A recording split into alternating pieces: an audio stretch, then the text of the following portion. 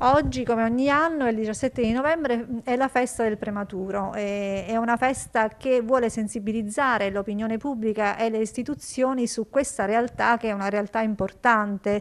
Considerate che un neonato su 10 nasce prima del tempo e che durante la pandemia sono anche aumentate le nascite premature. Cosa abbiamo pensato di fare quest'anno?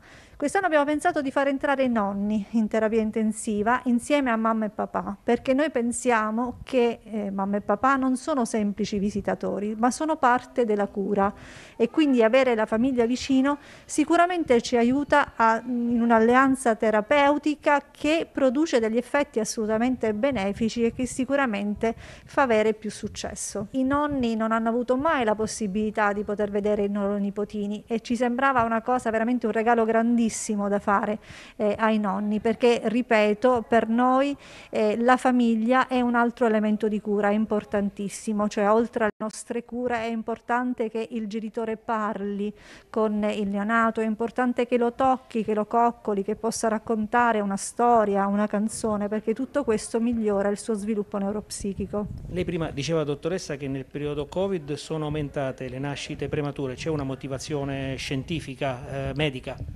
Purtroppo la motivazione scientifica non si è ancora capita, gli studi sono ancora in corso, sicuramente tra qualche tempo capiremo anche perché sono aumentate in questo periodo le nascite premature.